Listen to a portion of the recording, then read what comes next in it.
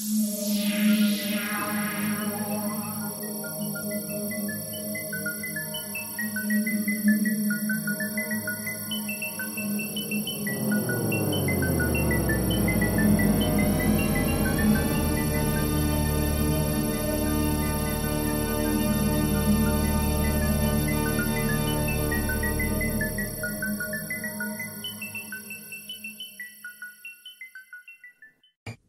Cualquier tecnología suficientemente avanzada no se distingue de la magia.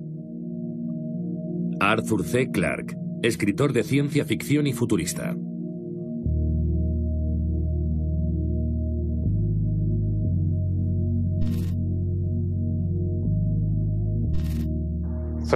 Aquí tengo dos dispositivos. Y voy a transferir un dólar de este a este otro instantáneamente. Introduzco la cantidad y lo envío. Y se puede ver la transacción. Listo. Lo que acaban de presenciar parece una transacción económica convencional. Se ha transferido dinero electrónicamente de una cuenta a otra. Pero si bien parece una transferencia bancaria normal, puede que sea la tecnología más revolucionaria que vayan a ver en su vida.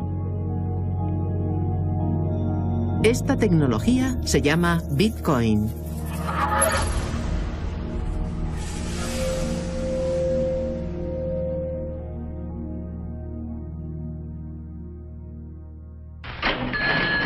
El dinero posibilita el intercambio de muchos bienes y servicios entre multitud de personas diferentes. Allá donde vamos, comprobamos cómo se usa el dinero como medio de intercambio.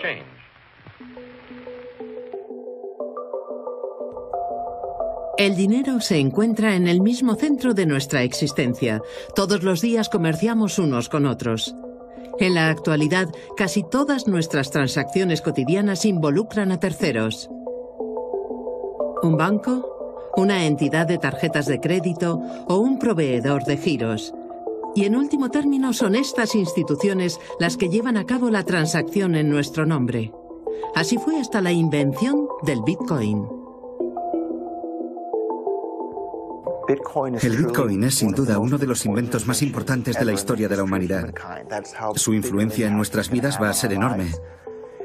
Suena muy complicado y difícil de entender cuando te hablan de ello, pero el correo electrónico te sonaría igual si solo hubieras oído hablar de él. El Bitcoin es más fácil de usar que el email. ¿Qué es exactamente el Bitcoin? Para empezar, no es una moneda. En realidad, es una nueva forma de dinero, una divisa electrónica Existe únicamente en Internet y algunos han llegado a llamarlo dinero mágico de Internet. Creo que parte de la confusión estriba en que en realidad Bitcoin es dos cosas diferentes. Se trata tanto de una moneda como de una red de pago. Y nunca habíamos tenido algo así. El dólar es una divisa, pero no es una red de pago. PayPal y Visa son redes de pago, pero no son divisas. Bitcoin es ambas cosas a la vez. Y además tiene otra característica adicional, la de que se puede teletransportar instantáneamente a cualquier parte del mundo, casi de forma gratuita. Y nadie puede bloquear estos movimientos ni interceptarlos. Y si lo usas con cuidado, puedes operar anónimamente.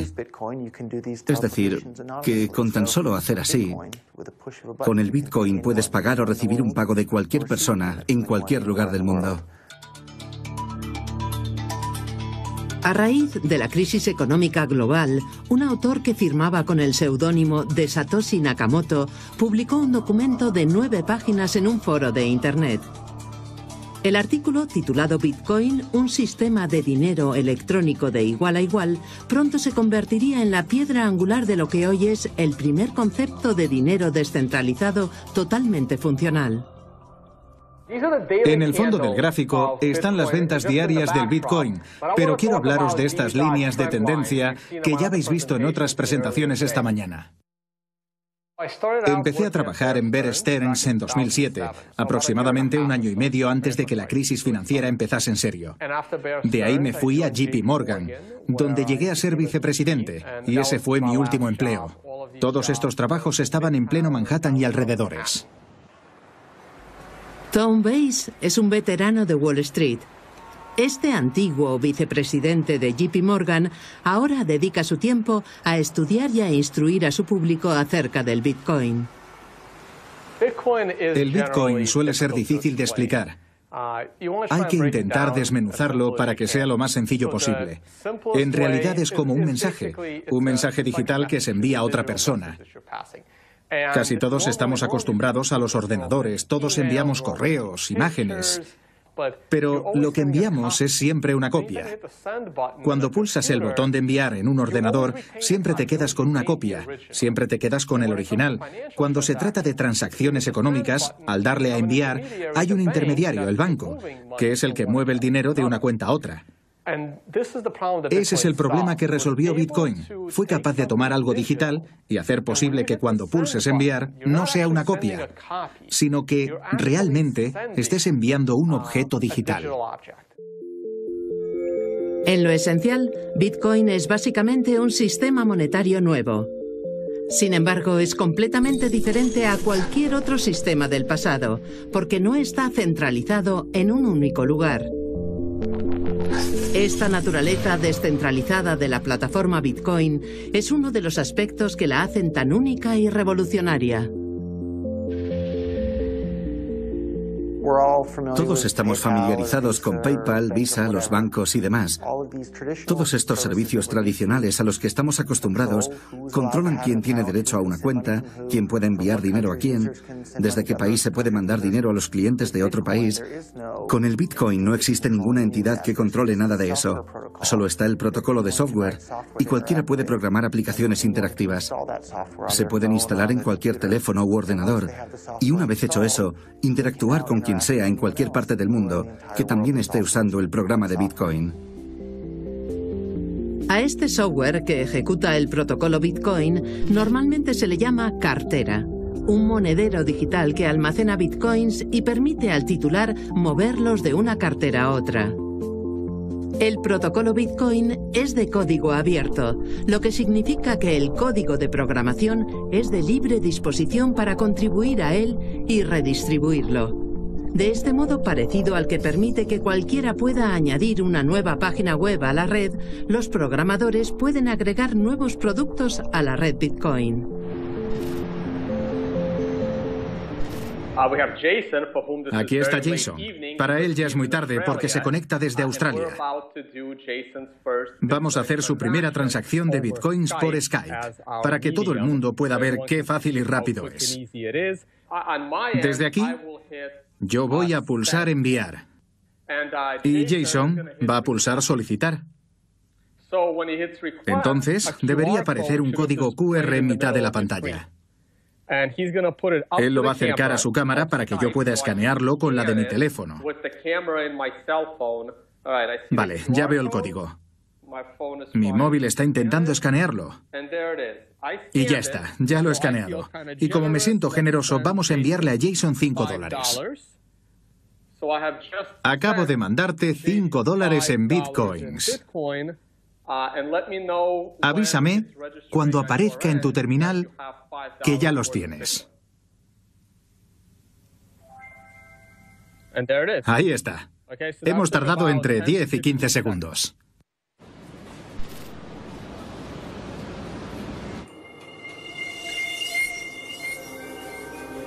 Bitcoin permite a los usuarios enviar y recibir dinero instantáneamente sin la participación de terceros. Este gran avance digital convierte al usuario a todos los efectos en su propio banco. Es una idea compleja de asumir, pero las posibilidades de esta nueva moneda sin bancos son inimaginables. Son 3.240 yenes.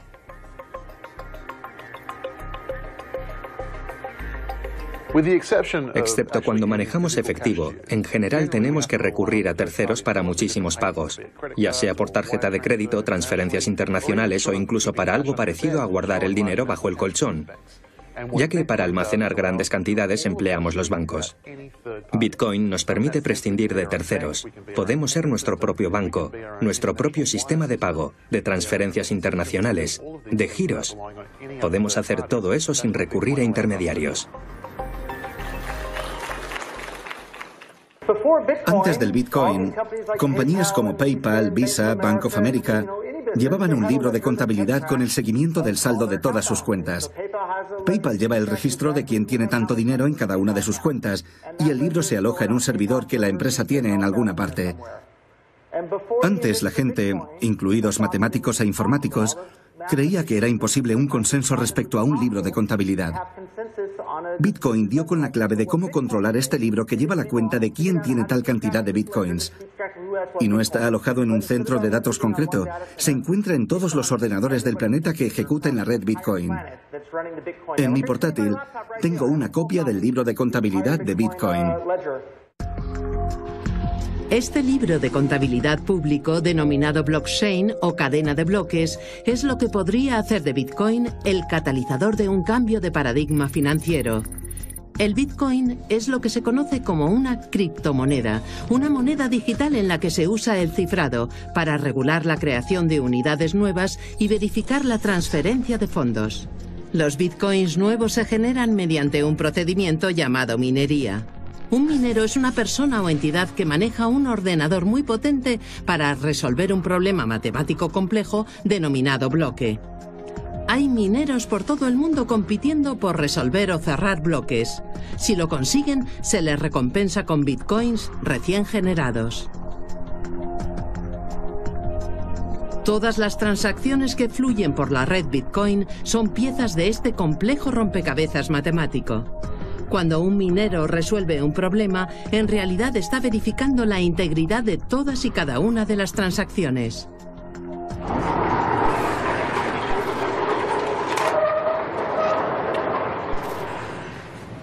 Bienvenidos.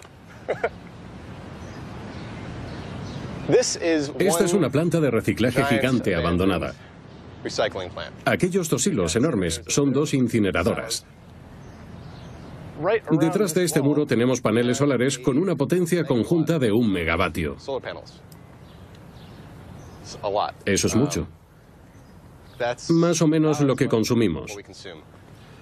Así que vamos a poder cubrir del todo nuestros costes eléctricos.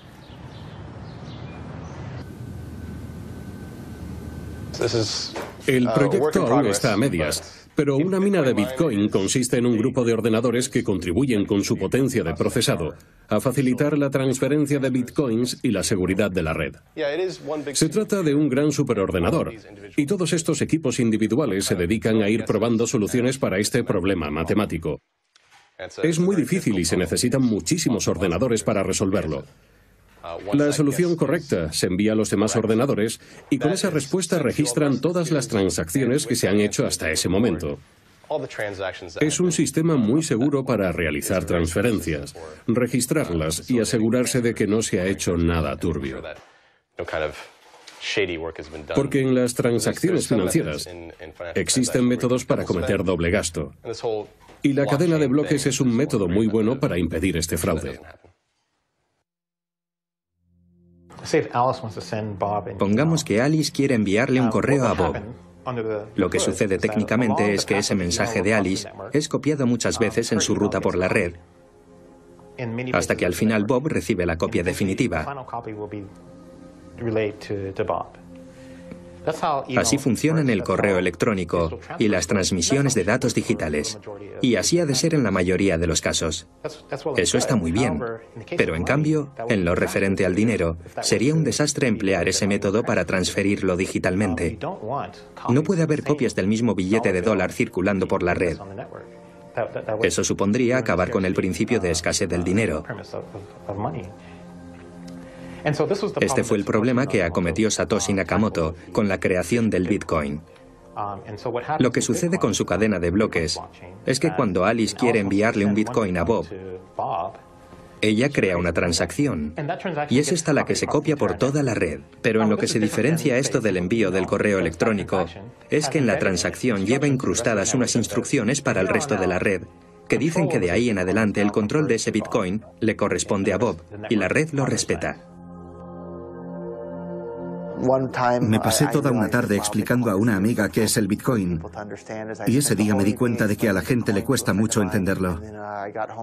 Al llegar a casa por la noche vi que me había escrito en mi muro de Facebook, he estado pensando más en lo del Bitcoin y en lo que me has explicado sobre la minería. ¿Significa que los Bitcoins salen de debajo de la Tierra? Entonces fui consciente de que a la gente le cuesta comprender el concepto de Bitcoin, especialmente lo de la minería. Para los usuarios nuevos, el Bitcoin puede ser un concepto difícil de comprender. No son monedas materiales y desde luego su origen no es subterráneo. Sin embargo, sí que existen algunas similitudes interesantes entre el Bitcoin y un metal precioso que se encuentra bajo tierra. El oro. El oro es sinónimo de dinero y de reserva de riqueza desde hace milenios. En la actualidad se sigue excavando para extraer oro por todo el mundo. La cantidad de mineral que se saca de la tierra disminuye a lo largo de la vida útil de una mina hasta que finalmente ésta se agota. Los bitcoins se extraen de una manera similar. El algoritmo Bitcoin está programado para que la recompensa por extraer nuevos Bitcoins se reduzca a la mitad cada cuatro años, hasta llegar al año 2140, en el que se darán todos por extraídos. Quizá el misterioso creador que está detrás del Bitcoin está intentando imitar los atributos del oro, casi como para crear una moneda de oro digital que se pudiera dividir y luego enviar instantáneamente por todo el mundo. Intentaré explicarlo de una manera muy sencilla, como si fueran mineros. Los mineros de bitcoins reciben la recompensa simplemente porque mantienen la seguridad de Bitcoin. Matemáticamente significa que debe resolver problemas bastante difíciles. Es un proceso de tanteo. Hay que hacer millones y millones de intentos. Y si aciertas y puedes cerrar todas las transacciones de un bloque, entonces es que has sido un buen minero y recibes 12,5 bitcoins. En un principio, la recompensa era de 50. Cada cuatro años, estos premios para los mineros se dividen por dos.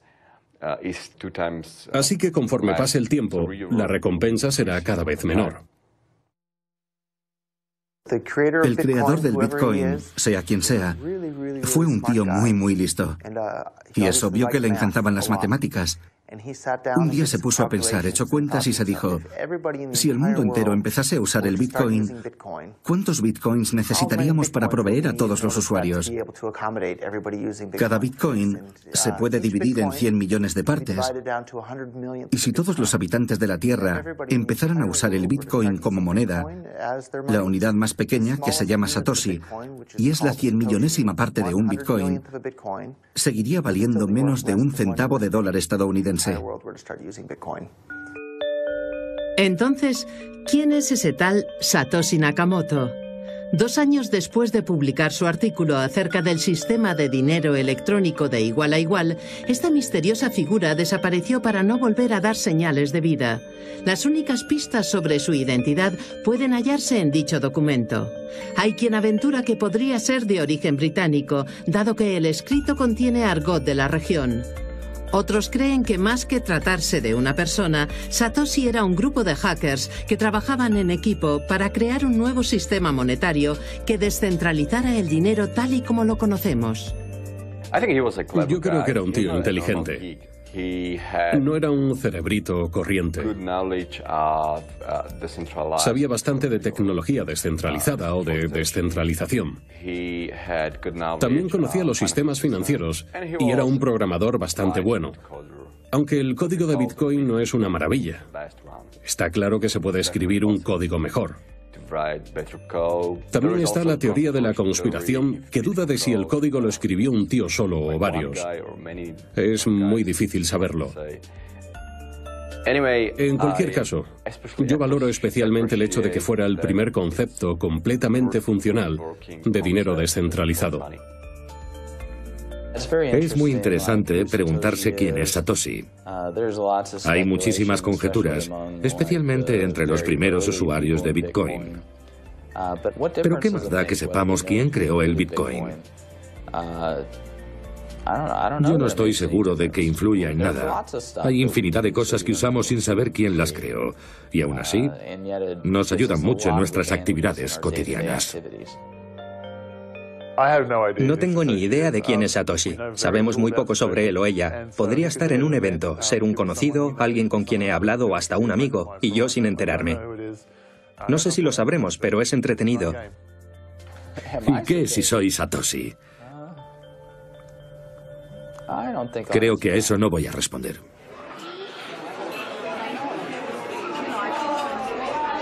Con independencia de la identidad de Satoshi, su invento podría tener profundos efectos en la evolución de nuestro mundo en el futuro. Pagar en bitcoins es bastante guay.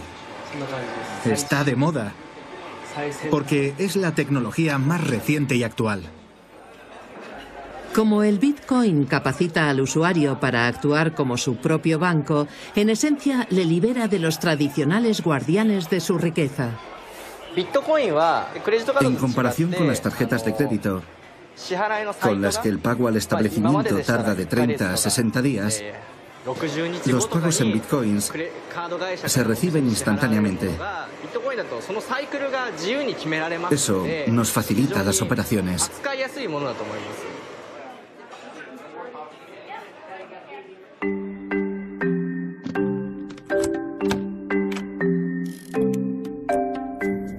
Todos usamos llaves en nuestra vida diaria. Las llaves nos dan acceso y el control de nuestras posesiones valiosas.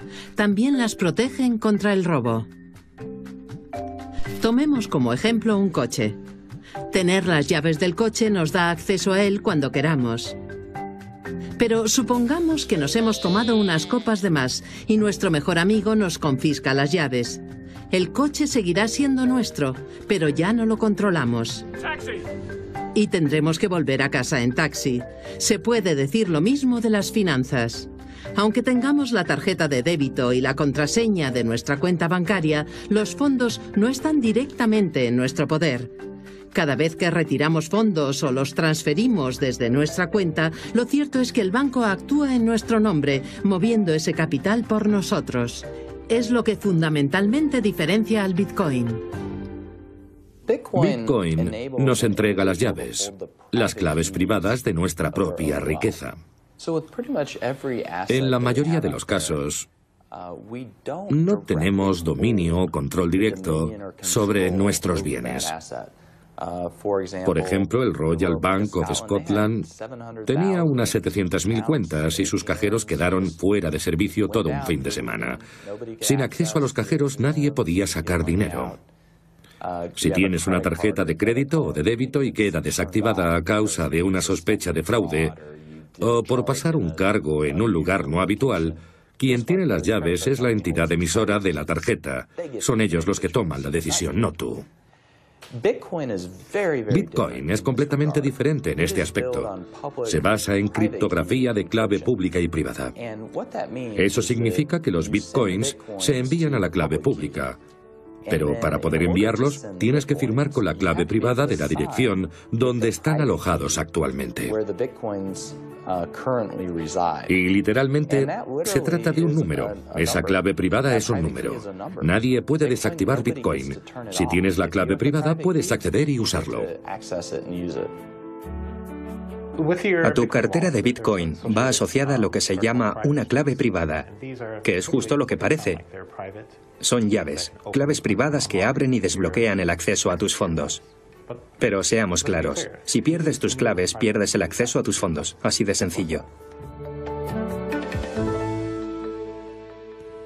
Acabamos de comprar unos cuantos bitcoins en un cajero automático de bitcoin local y lo que sale del cajero en realidad es lo que llamamos una cartera fría, un papelito con dos cuadrados o dos cosas que parecen un test de Rorschach, con un montón de caracteres alfanuméricos debajo de cada uno. La de arriba es la clave pública, que es la que usaría la gente para enviar bitcoins a esta dirección, y la de abajo es la clave privada, que es la que utilizarías para escanearla y retirar bitcoins de esta dirección. Ahora bien, es muy importante reseñar que la clave privada no es algo que debas ir enseñando por ahí, pues el primero que la escanee podrá sacar los bitcoins de esta dirección. Además, si perdieras este papelito, básicamente habrías perdido tus bitcoins, porque nadie más tiene copia de la clave privada. Ahora mismo hay algún bitcoin en esta dirección, así que si estás viendo esto por primera vez, podrías escanearlo y quedártelo tú.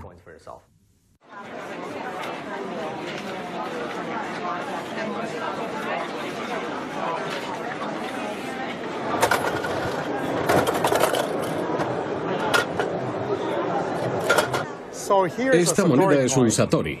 Uh, Tiene un valor de 0,001 bitcoins. Uh, Al cambio de hoy serían unos 45 centavos. Uh, es decir, que es una cantidad mínima. Pero lleva auténtico Bitcoin en el interior. Ahora bien, para canjear el valor que representa esta ficha, habría que despegar la pegatina holográfica del dorso. Así. Y entonces queda a la vista un código QR. Y esta es la clave privada, que esencialmente es como una contraseña. Y con esta clave privada, y solo con ella, se puede canjear e importar este valor a nuestra cartera de Bitcoin. Todo lo material lleva aparejado una fuerte sensación de autoridad y autenticidad. Para hacer que la barrera de entrada al mundo Bitcoin fuera lo más baja posible, creo que a todos los que trabajábamos en el proyecto nos parecía muy importante que hubiera una pieza de Bitcoin que se pudiera tocar con la mano, portátil y que no costara mucho para iniciarse en esto. Es una especie de objeto de poco compromiso. Bitcoin se basa en un cifrado de claves, una pública y otra privada, por lo que el proceso de envío de pagos, particularmente en línea, es diferente al de las tarjetas de crédito. Las tarjetas de crédito nunca se concibieron para usarse por Internet. Cuando se inventaron, Internet ni existía. Se basa en un sistema de retirada, por el cual autorizas al comerciante o a la entidad emisora de la tarjeta a retirar fondos de tu cuenta bancaria cada vez que a ellos les parezca que tienen derecho a hacerlo. Con una tarjeta de crédito, siempre que quieres iniciar una transacción, le estás dando a todos los efectos las llaves al comerciante y se las das a cualquiera con quien trates. Así que cada vez que haces una transacción, sea en línea o no, estás corriendo un riesgo, porque le confías al vendedor una información tan personal que si él quisiera podría utilizarla más tarde para iniciar otras transacciones. Mientras que el Bitcoin supone un modelo completamente diferente, en el que el control se decanta más por el consumidor, es este el que entrega sus fondos. Um, en este caso, si ofreces un servicio por Internet, puedes publicar una dirección de Bitcoin y cualquier persona del mundo te puede enviar Bitcoins. Si tuvieras un grupo de música y estuvieses dando un concierto y este se retransmitiera para todo el mundo, si sacases un letrero en el escenario con una dirección de Bitcoin, te podría financiar cualquiera que viese esa retransmisión, en cualquier momento, desde entonces y en adelante.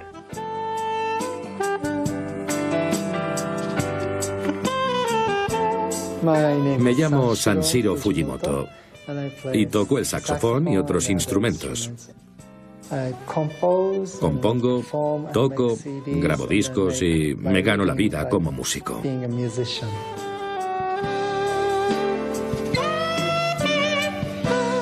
El de hoy era un concierto muy pequeño y lo he hecho sin cobrar entrada. Si te gusta mi música, entonces puedes darme un donativo.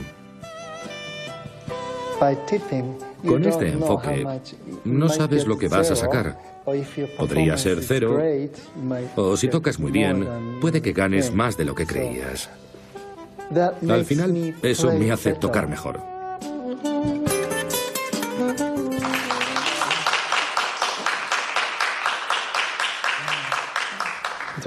La interacción directa se centra más en el arte en sí.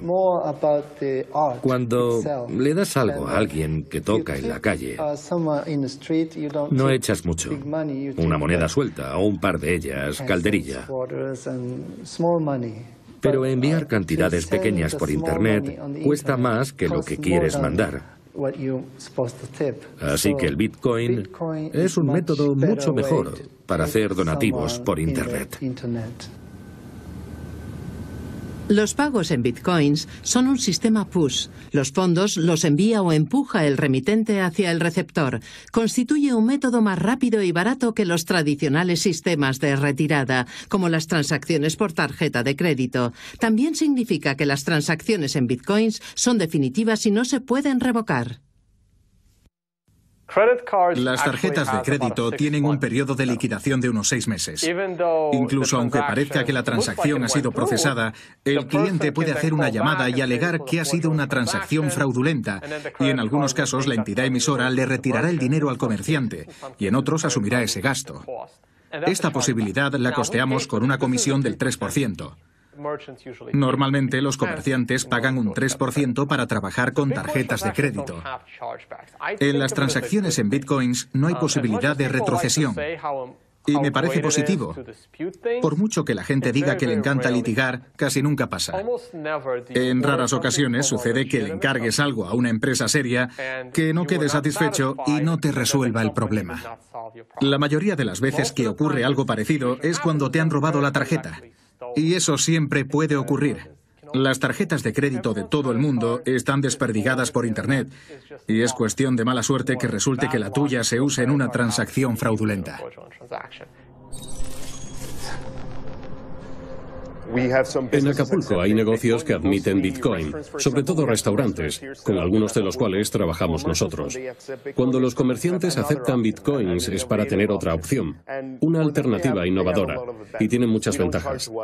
No les cobramos las comisiones que cobran las entidades emisoras cada vez que se pasa una tarjeta de un 3, 4, 5 o hasta un 10%. Nosotros no cobramos nada. Tampoco tenemos un gasto mínimo. Puedes pagar 10 o 50. Gracias a que el Bitcoin está reduciendo el coste de hacer negocios y eliminando el riesgo de fraudes, empresas que van desde la tienda familiar de barrio hasta corporaciones multinacionales han empezado a adoptar esta nueva manera de transferir capitales. Esta es la Facultad de Medicina de Harvard. Y aquí tenemos una silla de Harvard. Vemos que pone de 1997 a 1999.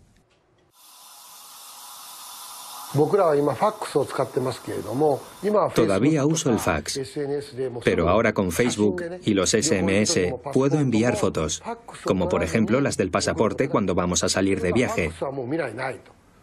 En un futuro no habrá ni fax. Y del mismo modo, cuando pienso en el futuro de las tarjetas de crédito o del dinero, pienso en el dinero virtual. Yo creo que el dinero virtual va a dar mucho que hablar. Teniendo esto en cuenta, mi objetivo es tener presencia internacional y estar a la vanguardia del uso de la moneda virtual en el negocio de la industria médica y bucodental. Quiero que mi negocio crezca a la par que crece la popularidad del Bitcoin. La primera gran sociedad cotizada en bolsa en admitir bitcoins fue Overstock y ahora reparten a más de 200 países.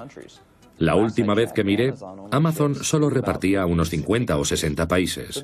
Es decir, que están cediendo mercados enteros, con todas sus poblaciones de miles de millones de personas, sin luchar siquiera por su cuota de mercado.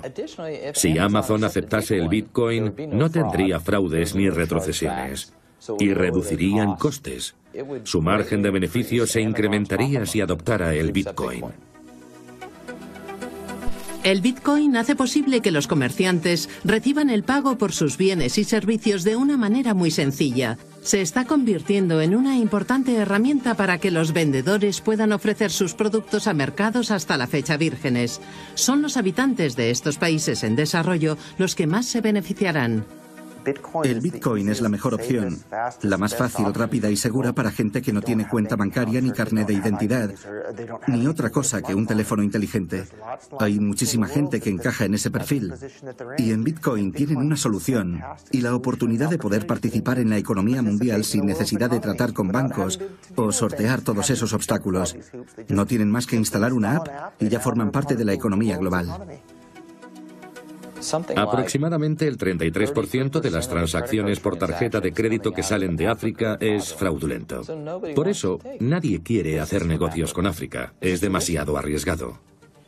Con el Bitcoin sabes que los fondos son válidos, así que el proveedor no pondrá ninguna pega en vender lo que le pidan, siempre que sea legal y enviarlo a África. Entonces podrán empezar a disfrutar de derechos de propiedad, que es lo que les va a sacar de la pobreza. Bitcoin encaja en el nicho de mercado de los desfavorecidos por la industria bancaria. Hay mucha gente en los países del tercer mundo que puede que no tenga acceso a cuentas bancarias, ni siquiera documento de identidad para abrir una. Pero si tiene teléfono móvil y acceso a Internet, ahora puede llevar el equivalente a un banco en su móvil.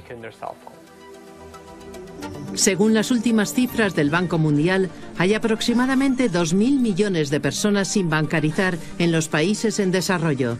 La adopción y el uso del Bitcoin en estos países podría transformar este problema humanitario y permitir que la población no bancarizada participe en la economía global.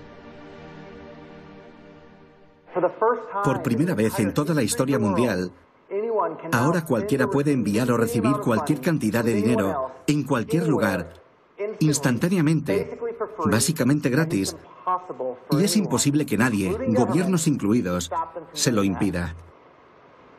Y por mucho que me guste el oro, con él no se puede hacer eso. Pensadlo bien. Aquí y ahora mismo, cualquier persona de esta sala puede intercambiarse cualquier cantidad de dinero con quien sea, y nadie puede hacer nada para impedirlo. Eso no era posible antes de la invención del Bitcoin. Es una tecnología totalmente revolucionaria para todos.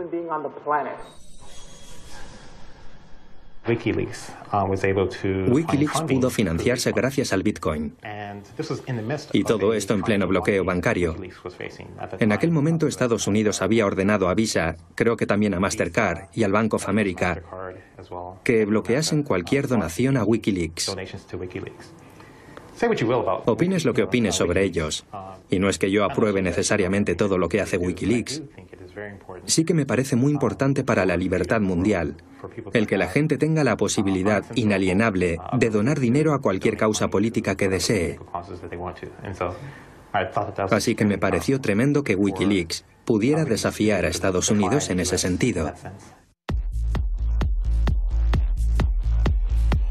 Como Bitcoin pone las llaves de la riqueza exclusivamente en manos del usuario, se puede utilizar para apoyar el activismo social y político, pero también se puede usar para pasar una noche de fiesta.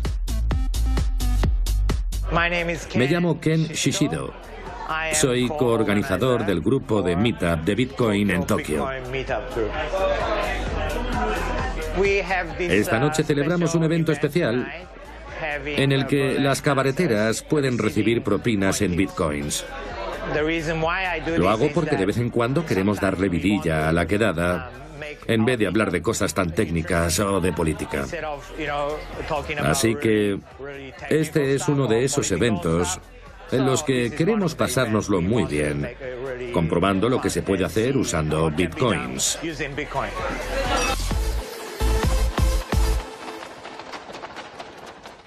En la mayoría de países no hay problema alguno para comprar cosas. Hay tarjetas de crédito. Aún se puede usar el efectivo. Pero para mí, ese no es el auténtico uso del Bitcoin. Su auténtico propósito es el de otorgarte privacidad financiera, que es extremadamente importante. Durante la crisis financiera global, a medida que se extendían las grietas del sistema financiero, se reveló lo vulnerables que eran ciertas instituciones hasta entonces tenidas por invencibles. Como sabemos ahora, estados de todo el mundo se vieron forzados a rescatar instituciones financieras. Un rescate se produce cuando un gobierno toma dinero del contribuyente y se lo da a una institución financiera irresponsable para que cubra sus errores. Una recapitalización interna es diferente, puesto que en este caso se redacta una ley que permite a las instituciones financieras coger fondos directamente de las cuentas de los clientes para compensar sus pérdidas. Esto es lo que ocurrió en Chipre en 2013. Empecé a estudiar el Bitcoin en 2013, durante los sucesos de Chipre, cuando los bancos cerraron y confiscaron el dinero de la gente. Hablé con mis compañeros, algunos doctores y analistas cuantitativos, y les dije que era horrible y que empezaría a pasar en muchos otros países occidentales. Se reían de mí y decían que no, que era solo cosa de Chipre y que aquí no pasaría nunca. Y entonces fue cuando me di cuenta de que a alguien se le debía de haber ocurrido una manera de solucionar este problema. Cuando un depositante le encomienda dólares o euros a un banco, la titularidad de ese dinero pasa al banco y los depositantes se convierten en acreedores sin garantía. Si el banco la lía por cualquier motivo, ahora hay legislación aprobada en muchos países por la que los bancos se pueden acoger a una recapitalización interna, lo que significa que esos depósitos se pueden convertir en acciones del banco. Jeff Beruick es emprendedor, comentarista financiero y presentador de podcast. Como fundador de Stockhouse.com, la web de noticias financieras más importante de Canadá, sus análisis, artículos y vídeos los han visto millones de personas en todo el mundo. Es difícil prever qué va a pasar en el futuro, pero después de lo de Chipre yo dije que ocurriría en Grecia. Y entonces los bancos griegos cerraron durante meses. El dato para la gente de Europa es que el 1 de enero de 2016 entró en vigor la legislación sobre recapitalización interna para bancos europeos. Su mera existencia debería ser un gran toque de atención. En Chipre ni siquiera la habían aprobado. Primero cerraron los bancos y luego redactaron la legislación para que estos pudieran coger el dinero de sus clientes y mantenerse a flote. Ahora que está ratificada ya se sabe lo que se avecina. Yo veo el Bitcoin como una manera de proteger y ocultar tus activos. Y no decimos que esto sea malo. No digo que solo oculten sus bienes los delincuentes. No. Hay gente que ha trabajado mucho, que ha pagado impuestos, que lo ha hecho todo bien. Y como ya pasó en Grecia y en Chipre, le confiscan su dinero y sus cuentas bancarias. Así que la próxima vez que el sistema bancario se meta en líos, quizás saquen las cuentas de los usuarios para contribuir a financiarlo. Estamos hablando de gente con cantidades significativas, de 100.000, 200.000 dólares, pero es dinero legal, se lo han ganado. Algunos economistas creen que la crisis financiera global de la década pasada no fue más que la precursora de una calamidad mucho mayor. De ser así, ¿Cómo reaccionarán los gobiernos al siguiente fracaso de nuestro sistema financiero? Al contrario que el sistema bancario actual, Bitcoin les da a los individuos las claves privadas de su riqueza. Sin embargo, esto también conlleva la responsabilidad añadida de proteger sus Bitcoins. Con Bitcoin controlas tu dinero al 100%. Pero eso también significa que eres 100% responsable de lo que le ocurra. Así que es tarea tuya garantizar la seguridad de tus bitcoins. La gente está acostumbrada a las tarjetas de crédito, a las cuentas bancarias y a PayPal. Y si te roban la tarjeta, llamas a la compañía, te la cancelan y se acabó. Si te roban los bitcoins, no puedes llamar a nadie para pedir ayuda. La otra cara de la moneda es que tampoco tienes que llamar a nadie para pedir permiso para usar tu moneda electrónica como te apetezca. Todo tiene su contrapartida. Mt. Gox, la plataforma de intercambio de bitcoins, se ha declarado en quiebra. El anuncio llega después de que este mercado de valores digitales anunciase que le habían desaparecido 450 millones de dólares en moneda virtual. Su director general pidió perdón. Está por dilucidar si fueron robados, invalidados por errores tecnológicos o ambas cosas. Este es el antiguo edificio de Mt. Gox. Fue el mercado de intercambio de bitcoins más grande que haya existido. Creo que en algún momento dado estaban moviendo un volumen superior a 100 millones de dólares al día y se hundieron de una manera espectacular en 2014. Me parece que las pérdidas ascendieron a más de 450 millones de dólares. Declararon que habían perdido 850.000 bitcoins, de los cuales luego aparecieron 200.000 en un monedero viejo. La gente metía dinero y básicamente les entregaba sus bitcoins dándoles el control de sus claves privadas. La ironía es que ese riesgo de centralización es exactamente de lo que se supone que tiene que librarnos Bitcoin. Mt. Gox se apropió de esa naturaleza descentralizada del Bitcoin y la encerró en una sola compañía con el dinero de un montón de gente. Y para rematar, le dio el control económico de la empresa a una sola persona que tenía las llaves del reino. En los dos o tres últimos años, según mis cálculos, habremos visto entre media docena y diez hackeos graves a compañías que trataban con bitcoins. Una cosa que hay que entender es que la seguridad del Bitcoin no tiene nada que ver con proteger un bien que se encuentra dentro del espacio financiero convencional. Con Bitcoin, si te haces con la clave privada de la cartera de alguien, puedes iniciar una transacción fuera de la infraestructura de esa compañía sin su conocimiento. En esto es completamente diferente a cualquier otro sistema que exista en la actualidad en el espacio financiero, en el que si quieres sacarle dinero a ese objetivo, primero tienes que haberte infiltrado en su infraestructura. Todo forma parte de esa mentalidad según la cual la gente ha sido educada para no confiar en sí misma al gestionar su propio dinero, así que todo el mundo lo mete en un banco para que se lo guarden. Ese tipo de mentalidad, que nos lleva a meter nuestro dinero en una empresa con una reserva comunitaria, cuya única función es la de protegerlo, es un dogma muy complicado de superar, de cambiar. A mí me parece que esto es lo más estimulante e innovador del Bitcoin, que reta a la gente a cuestionar ese dogma. Nos reta a que tomemos el control de nuestro dinero y nuestros bienes y a que los protejamos por nuestros propios medios. Como ya sabemos, en este momento Bitcoin es bastante seguro. Si tuvieses más de la mitad de potencia que toda la red Bitcoin, podrías hacerte con el control, pero técnicamente esto es muy difícil. Teniendo en cuenta la potencia de la red Bitcoin, es casi imposible. Así que desde este punto de vista, el Bitcoin es mucho más seguro que los mayores y más seguros portales de los bancos más importantes del mundo. El problema es que mucha gente no confía en Bitcoin porque hay muchas noticias sobre hackeos de algunos portales y servicios de intercambio de Bitcoins y demás. La cuestión es que todos esos servicios basados en Bitcoin no son el Bitcoin en sí mismo. No se puede vincular la seguridad de servicios basados en Bitcoin con el propio Bitcoin. El hundimiento de la plataforma de intercambio Mt. Gox en 2014 causó mucha confusión y escepticismo acerca de la seguridad del Bitcoin. Sin embargo, años después del derrumbe de la que fue la mayor casa de cambio de moneda virtual, actualmente Bitcoin aparece en el radar de muchas instituciones de la industria financiera. La gran pregunta, la conversación que se oía por ahí hace poco, versaba sobre si la tecnología de cadena de bloques afectaría a la industria financiera. Y ahora, cuando uno acude a las ferias bursátiles y escucha a los medios, la cuestión ya no es si la cadena de bloques afectará, sino cómo lo va a hacer y de qué manera va a transformar la industria. Hoy ya se da por sentado que el impacto será más que considerable.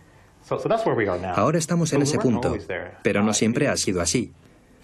Si echamos la vista atrás unos tres años, vemos que la actitud hacia el Bitcoin es que era un concepto casi irrisible, un sistema insostenible y que no se podía aplicar al espacio financiero. En Japón se ha aprobado la ley de moneda virtual en la Cámara Baja y esperemos que se apruebe también en la alta en un futuro muy cercano. Esto quiere decir que el gobierno reconoce la existencia de las monedas virtuales y que de verdad está intentando reglamentar y apoyar el negocio.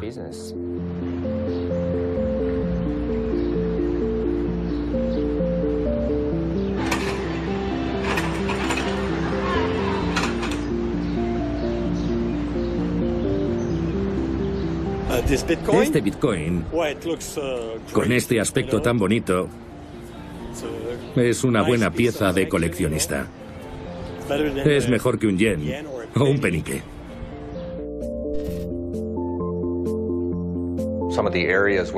Una de las regiones donde el Bitcoin ha alcanzado más popularidad es China, que ejerce un control de capitales bastante alto.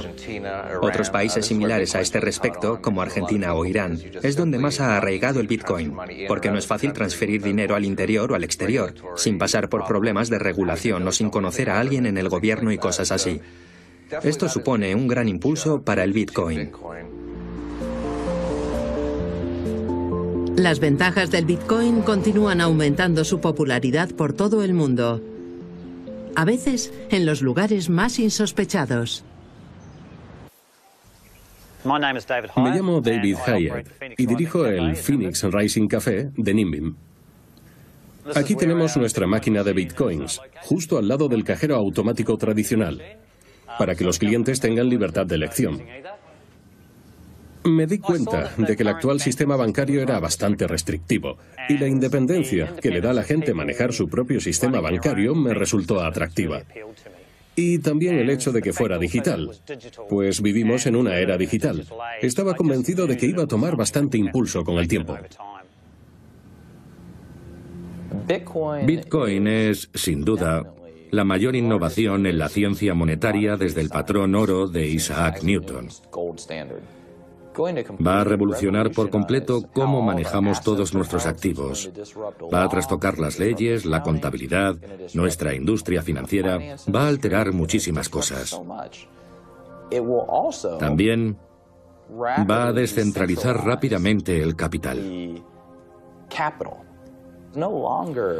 Ya no habrá millones de personas que acumulen todo su capital en una pila enorme que termine gestionando el vicepresidente ejecutivo de Merrill Lynch o del Bank of America.